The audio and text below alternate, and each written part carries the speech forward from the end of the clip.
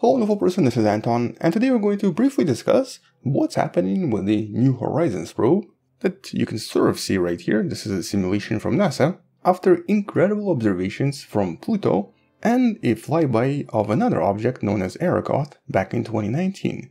And though by itself this mission has been already active for about 17 years, technically its official mission is over, and it's been basically conducting what's known as extended mission, with the main focus being the region known as the Kuiper Belt.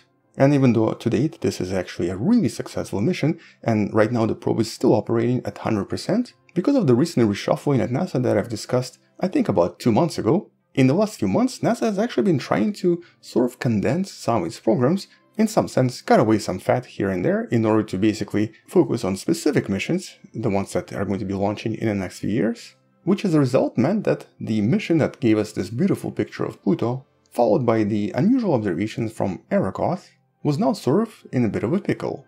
But the pickle being, NASA wasn't sure what to do with the mission, or if it should actually continue studying what's known as planetary objects, and maybe instead switch to something entirely different. And so because of this, in the last few weeks, following the report that you can find right here, a report that's over 100 pages long, some of the NASA administrators suggested that maybe New Horizons should now switch to solar observations, or what's known as heliophysics, instead of trying to study more rocks which basically meant one thing. The entire team, led by the planetary scientist Alan Stern, would have to be pretty much completely replaced by someone entirely different, with the main focus now being the sun instead of being planets. But what exactly is the reasoning here?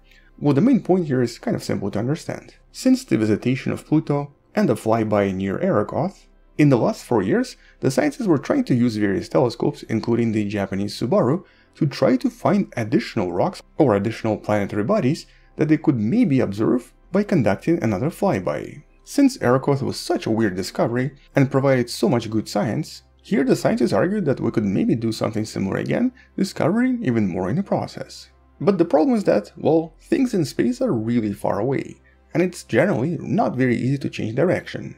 And so for the past 4 years, no additional object has been discovered that's within the trajectory for the New Horizons to potentially reach it. Now because the spacecraft is moving really fast and because it's moving away from Pluto, according to these scientific calculations, there is just enough fuel to maybe encounter something if it has a deviation of about 1 degree from the current trajectory. So here the spacecraft can move just a little bit away from its trajectory and that object will have to cross the trajectory at some point in the future. But no additional discoveries have been made since 2019 and as the spacecraft moves farther and farther away, the odds of finding something new are even lower. And what's worse is that the scientists have been getting even less time on the telescope, so their ability to find something out there has decreased even more. And so basically for them to continue the mission, they have to find something, some kind of a additional object, within the next year and a half or so. But at the moment they don't believe they'll be able to do so, which potentially jeopardizes the planetary mission for New Horizons. And which also means that by 2025, it might switch to a completely different scientific mission, in this case being heliophysics but the current project leader, Alan Stern, disagrees. And honestly, he makes a pretty good point. Originally, this mission was also intended to study the Kuiper Belt. And though we haven't found a lot of objects crossing the trajectory with the New Horizons, it's actually still going to be in the Kuiper Belt until 2028. And it's literally the only mission we're going to have in this belt for a pretty long time. Possibly ever. We don't even know when the next mission to the outer solar system is going to be launched. And so shutting down the research on planetary objects and trying to switch this to a solar mission is maybe a little bit premature. And that's even if they don't really discover any objects that can be studied in more detail just yet. But more importantly, there's actually another researcher that recently announced something else exciting that can potentially give this mission even more reason to exist. This was part of a much wider discussion with other members of the mission, but one of the Canadian researchers, Wes Fraser, recently made a very surprising and somewhat intriguing proposition. Based on new discoveries, it actually does look like the solar system has two Kuiper belts, or technically binary Kuiper belt, as visible from this image. And more importantly, it also suggests that right now, the New Horizons is just flying through a relatively empty area in between the belts. But the spacecraft is going to be visiting this region within the next few years and is going to be flying through it for several years afterwards which implies that in the next few years, possibly within 4 to 5 years, it's actually going to move through a region we've never visited and never knew anything about. Mostly because compared to previous probes, like for example the Pioneer probes or the Voyager probes, New Horizons is really the only mission that's pretty much on the plane of the solar system and is going to be flying directly through what could be another asteroid belt that we didn't really know existed. And though understandably maybe this is just a reason the scientists are trying to find for the mission to be extended and to exist further, at the moment the data seems to suggest that they are not wrong at all.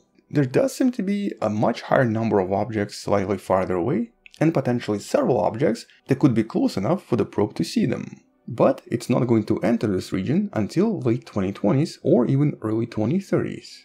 And by then, the nuclear fuel on the probe is actually going to start reaching the point where some of the instruments might have to reduce their operation in order to save energy. But technically the probe is still going to be operational in 2040s and even 2050s, sort of similar to what happened to the Voyager probes. And so at the moment it's actually a bit unclear what's going to happen to New Horizons or what NASA decides to do with it, especially if the scientists behind this recent discovery might have really discovered a new structure within the solar system after all. And though we might not actually see similar pictures to what you see right here, the very detailed pictures from Arrokoth, it is still possible, especially if someone finds some kind of an object we didn't know existed that's moving in just the right way for the new horizons to cross it. At the moment though, its future is a bit uncertain, and though, as I mentioned, the mission is not going to get shut down, it's just going to be repurposed for different scientific goals. If NASA does go through with it and changes this to a heliophysics mission, unofficially this is going to be seen as the end of New Horizons. But I think it's still a little bit too early to tell what's going to happen because the discussion itself is far from finished. And if by some chance we do find a planetary body on the way, it's definitely going to extend the mission by at least a few years. Although, at least for now, I guess we can assume that it's almost the end of New Horizons. It definitely taught us a lot about Pluto, it showed us a lot of pictures from different objects, and even collected data from objects like Saturn and Jupiter, but despite all of this, there's a chance that by next year, it might be more or less finished. And since we have no other mission to the outskirts of the solar system planned for any time soon, to some extent it can also be seen as a kind of an end of an era. Currently there is no plan for anything to be launched to, for example, Uranus, Neptune, or any other objects farther away, and so it's really only New Horizons that still is technically the most exciting planetary mission we currently have. It just doesn't really have any planets or objects to study right now. But anyway, once we learn more, we'll definitely talk more about this in some of the future videos. Although I think the next video is definitely going to be about that second Kuiper belt once the scientists provide a little bit more information and a little bit more evidence. Thank you for watching, subscribe, share this with someone who has learned about space and sciences, come back tomorrow to learn something else, and maybe support this channel on Patreon by joining channel membership or by buying the Wonderful Person t-shirt you can find in the description. Stay wonderful, I'll see you tomorrow, and as always, bye bye.